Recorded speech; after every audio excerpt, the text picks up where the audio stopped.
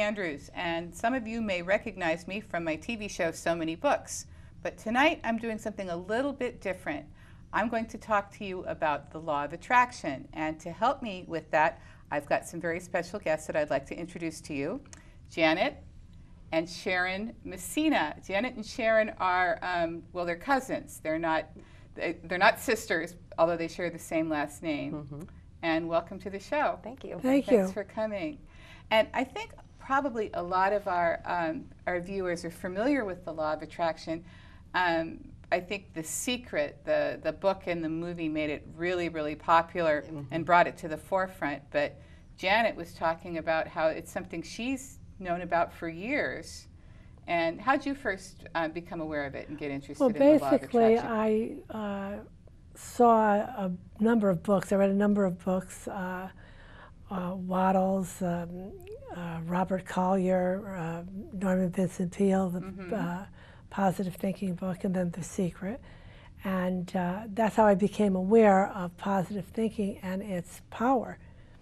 And it was um, on that basis that um, I created this uh, tool.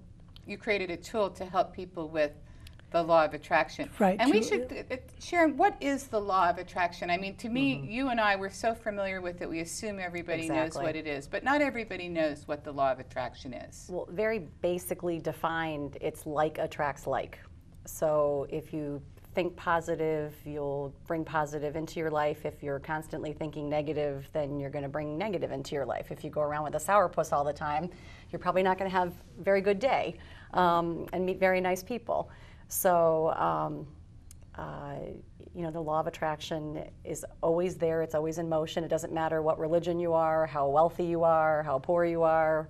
It's, it's, it applies to everybody equally. Mm-hmm. Um, it's based on what each individual thinks. Uh-huh. And it's something that I've, I, I was aware of for a long time. But I think, like many people, when The Secret became so popular, I, I started thinking about it more as a law as something mm-hmm. that I could could um, actually leverage and take control of it. Mm-hmm. And and I was I had been watching you know the the this this movie and I had been reading some other things and and I kept hearing a lot about visualization mm-hmm. and about how if you wanted something you should visualize it as if it had already happened. Right. So I had at this time I had just quit my my regular job to be a full-time writer and I was um, getting ready to do some book touring, and I was saying, "Gosh, you know, I want a motorhome. If I just, ha- it would be so great if I didn't have to like stay in hotels or stay on friends' sofas because." You know, you've got these funky places that you're going to, and it's like, oh, I wish I had a motorhome. I said, well, I'm going to visualize that I have a motorhome.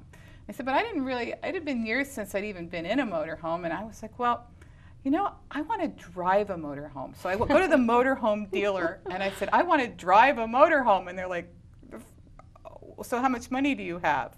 I'm like, well, I don't really have any money, but I'd like to drive a motorhome. And they wouldn't, they wouldn't let me drive a motorhome. And I was like, mm-hmm. oh, I could not get anyone. All they wanted to do was qualify me for the sale. Mm-hmm. But I said, well, I really want to know the experience of driving a motorhome, and I want a big motorhome because the motorhome that I want is a good size one. And I went back to where I was staying and I was looking at pictures of motorhomes on the computer. And I had people over for dinner. And the guy who was a, a real automotive expert was looking at the pictures on. He says, what What's this? I said, Oh, I was looking at these motorhomes. He says, Oh, you don't want one like this. you want one like the neighbor down here has. Mm-hmm. He's got a great one. He keeps it in his airplane hangar. There was an airport there. He says, You should go over there and ask him to let you drive it. So I said, Okay. And I went over and he let me drive it. With very, very nice man. And I said, This is exactly what I want. He goes, Oh, it's not for sale. I said, No, no, I understand that. But I was so excited. And I went for a ride in the, about 12 miles away to this little tiny coffee shop. And if you're ever in Melrose, Florida, the huge metropolis of Melrose, Florida, find the, the Take Me Magical Places Cafe, this little coffee shop. And I go in, and she's got some things about the law of attraction up on the wall. So I said, Oh, as a matter of fact, I was just test driving a motorhome so that I could visualize owning a motorhome and use the law of attraction to attract a motorhome.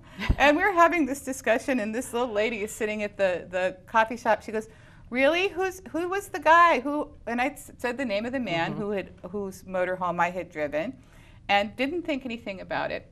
Well, little did I know that this woman was his girlfriend. And she didn't like traveling in the motorhome. She preferred to stay in hotels and get room service. She was mm-hmm. really, really tired of the motorhome. And she had gone to see him and says, You need to go tell that young woman that you're going to sell her that motorhome. Mm-hmm. And there's a knock at my door, and here's this old guy says, I was thinking about it, and I think I should sell you that motorhome. I love it. and he sold it to me for a pittance. Mm-hmm. For a pittance. So within, you know, five days of deciding, I want to have a motorhome, and I'm going to use the power of the universe to draw a motorhome to me. Um, I had a motorhome. Seeing the signs the universe was putting out you both picked up to on it get and to took your action. result. It- So I so after that I was really you know as a believer, and but you know time passes and you're really gung ho at first, but after a while, I was still trying to kind of do the exercises and to stop and think and to spend a certain amount of time a day, you know, with gratitude and being grateful and the, the things that you're supposed to do. And, and I was sometimes finding it difficult to focus, you know. And then you tell the story about the rosary. Well, when I, um, the only time I seem to be able to center my thoughts is when I'm saying the rosary. Otherwise, everything, when I try to concentrate, when, I, when I'm not, I, thoughts come in and out of my head and interrupt that, that centering of that thought. And the only time that doesn't happen is when I say the rosary. So I thought, well, you know what? If I could get something uh, tactile in my hand to concentrate and center that positive thinking thought, as I do with the rosary, as I can center on the rosary when I'm saying it, I can use that power to create my own universe. And that's exactly what, where I got you, the idea from. and you got this idea that you would actually create a, a physical thing, and you did, you know, Mm-hmm. because you gave you gave these things, and I'm going to hold one up here. These are called thought centering stones.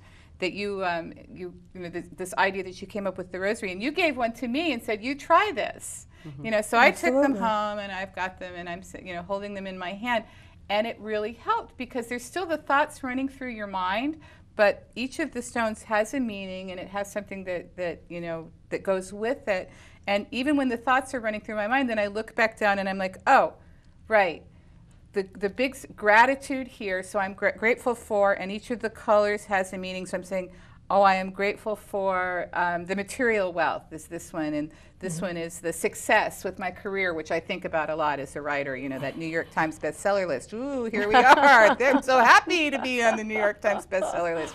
The very first time i held them in my hand um, they were so easy for me. I thought it would be fun to um, to bring somebody who had never tried them before. So I called up my friend Sandy. if Sandy, if you'd like to join us, because I knew that Sandy knew about the law of attraction and, and, and was a believer in the law of attraction, but she hadn't ever seen the thought centering stone. So I wanted um, for for you to. I thought it would be fun to have somebody on the show and have you walk them through a first time try of the thought centering stone. So welcome, Sandy. Hi, how are you? How are you? I think Sharon should explain it because she is uh, the dream maker. I'm just the dreamer. So you just basically